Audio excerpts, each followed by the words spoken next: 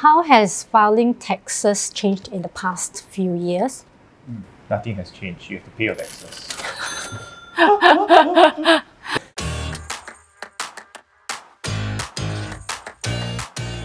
Hi, we are from IRAS and I'm Natasha and I'm the Principal UX Specialist from the User Experience team. I'm Jonathan. Uh, I'm one of the Solutions Architect in uh, IRAS. Hello, I'm, my name is Mirakai. I'm the Director for the IT Architecture Office in IRAS.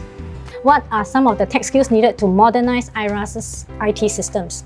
I think definitely familiarity with cloud technologies, familiarity with uh, what's being used in the industry right now, uh, things like containers. Also, we place a lot of emphasis on security, so having security would be good. And among the three of us, whose job is the most chim to explain to people that who are not in tech?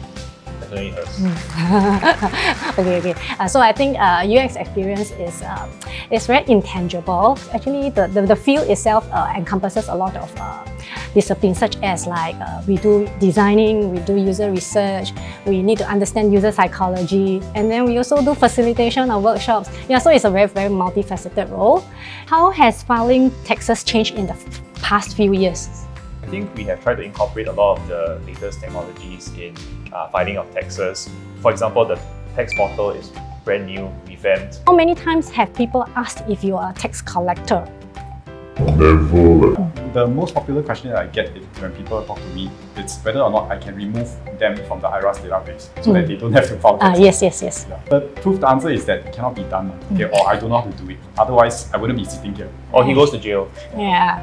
What is cloud storage biggest advantage and whether is it secure? I think cloud storage is uh, is good in the sense that it's cheap, it's elastic. You can store basically you can think of it as a as a unlimited as a bottomless bucket.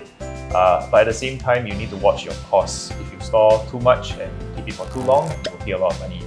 And security is really as secure as you want to make it. So I would recommend really reading up on the best practices and incorporating the, the latest designs in cloud storage security.